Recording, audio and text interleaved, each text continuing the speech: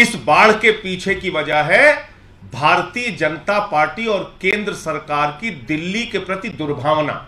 इस बाढ़ के पीछे वजह है, मोदी जी और भारतीय जनता पार्टी के मन में छिपी हुई नफरत, ये बाढ़ प्रायोजित बाढ़ है, ये बाढ़, ये आपदा प्रायोजित की गई आपदा है। बीजेपी के लोगों की तुम्हारा मीम जनता के दिलों में बन रहा है। तीनों रास्तों में अगर बराबर की आप पानी छोड़ते तो दिल्ली भी सुरक्षित रहता, हरियाणा भी सुरक्षित रहता और उत्तर प्रदेश का इलाका भी सुरक्षित रहता।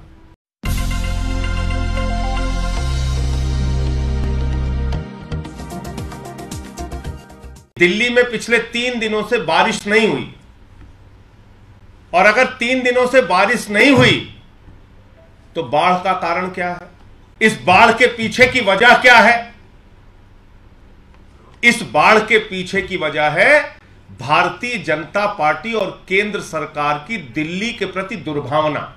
इस बाढ़ के पीछे वजह है केंद्र सरकार की दिल्ली को बर्बाद करने की साजिश।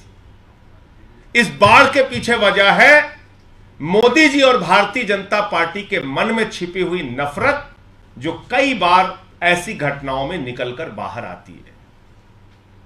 यह एक आपदा की स्थिति है। देश के किसी हिस्से में आ सकती है। दूसरे हिस्सों में आपदा आती है।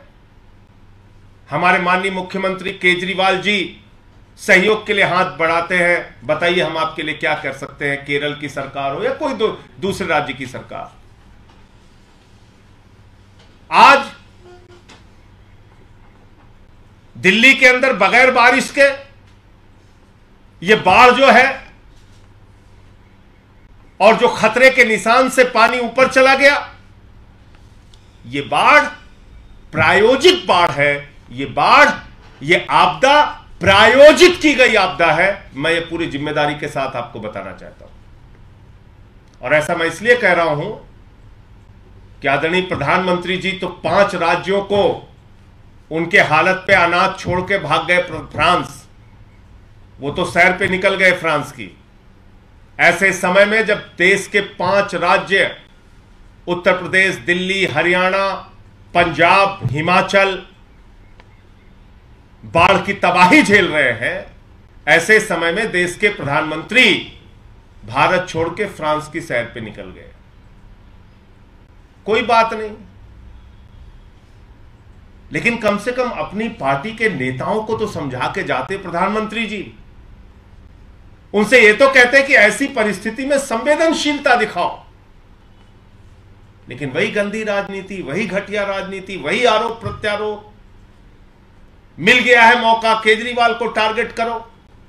अरे अरविंद केजरीवाल तो अपने मंत्रियों के साथ फ़ील्ड पर मौजूद है। बाढ़ग्रस्त क्षेत्रों का दौरा कर रहे हैं।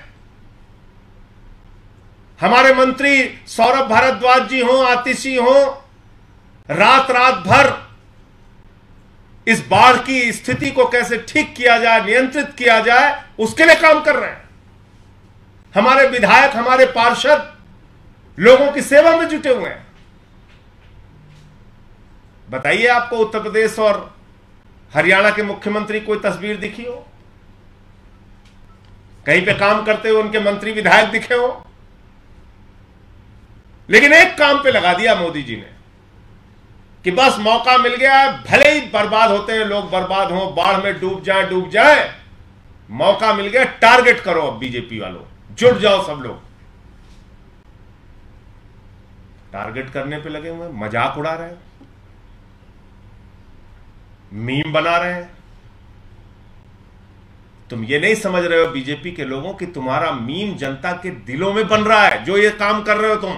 हरियाणा हथनी कुंड बैराज, एक पानी दिल्ली की यमुना में आता है।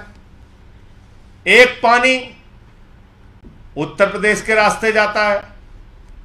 एक पानी कैनाल के रास्ते हरियाणा की तरफ़ जाता है। बेहतर यह होता कि बाढ़ की स्थिति थी तो तीनों रास्तों में अगर बराबर की आप पानी छोड़ते तो दिल्ली भी सुरक्षित रहता, हरियाणा भी सुरक्षित रहता और उत्तर प्रदेश का इलाका भी सुरक्षित रहता। लेकिन बीजेपी के मन में जो नफरत और दुर्भावना है, उसके कारण उन्होंने सोचा, कुछ भी हो जाए, बस दिल्ली को बर्बाद करना है, यहीं पे पूरा पानी छोड़ दो। और मैं पूरे लॉकशीट के साथ आपको बता रहा हूँ, ये आप लोग चेक कर सकते हैं, देख सकते हैं।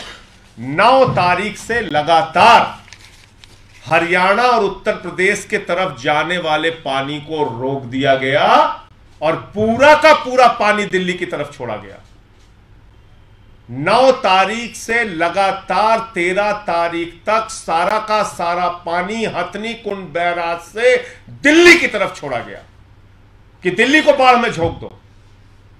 दिल्ली को डुबा देना है पूरी तरीके से। यह तो बहुत अच्छा है कि अरविंद केजरीवाल जी की एक संवेदनशील सरकार है यहाँ पे। संवेदनशील मंत्रियों का समूह है, विधायक हैं, पार्षद हैं, हमारे कार्यकर्ता हैं, जो इन परिस्थितियों को नियंत्रित करने के लिए काम कर रहे हैं। वरना अठहत्तर से भी ज़्यादा भयावह स्थिति अगर पानी छोड़ने की है और पानी आ गया है यहाँ पर तो ऐसे में तो पूरी दिल्ली डूब जाती। लेकिन ऐसा क्यों कर रहे हैं बीजेपी के लोग? आपको भी सात सांसद दिल्ली के लोगों ने जिताया है। आज बेहतर होता वो सातों सांसद हरियाणा के सरकार से अपील करते, प्रधानमंत्री जी से अपील करते कि भाई पानी बराबर बराबर छोड़ा जाए, सारा पानी दिल्ली की तरफ़ क्यों छोड़ रहे हैं?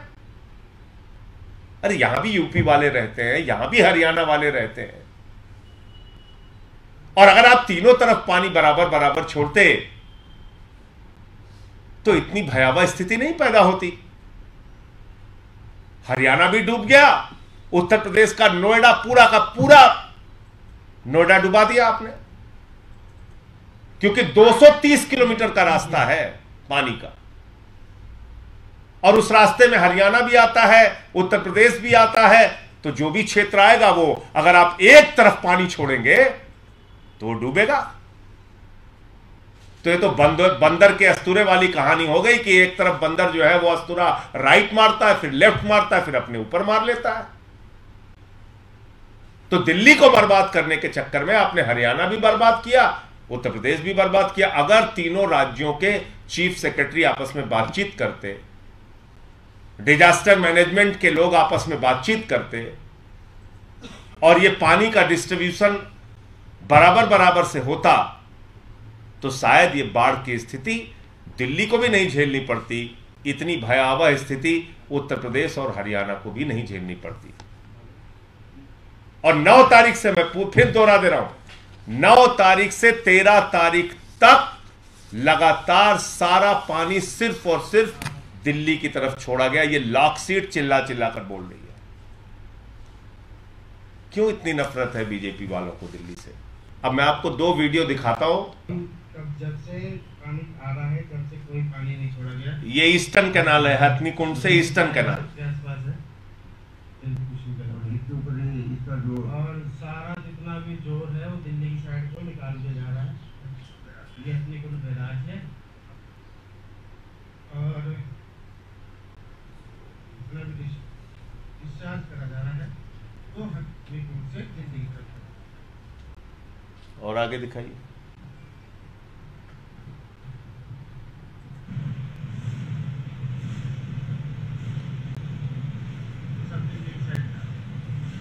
ये सारा पानी दिल्ली की तरफ़ छोड़ा जा रहा है WJC इसकी कैपेसिटी के भी अनुसार इसमें बहुत कम पानी छोड़ा जा रहा है तो कम है ये भी वेस्टर्न कैनाल में जो हरियाणा की तरफ़ जाता है, इसमें भी तेरह तारीख को पानी छोड़ा गया। उसके पहले नौ से तेरह तक जब हम लोगों ने कहा, तब बहुत कम मात्रा में पानी छोड़ा गया, जबकि दस गुना कम क्षमता में पानी छोड़ा गया यहाँ तब ये पूरी बात बताने का मकसद ये था कि दिल्ली की बाढ़ प्रायोजित बाढ़ है, यहाँ पे बारिश नहीं हुई है।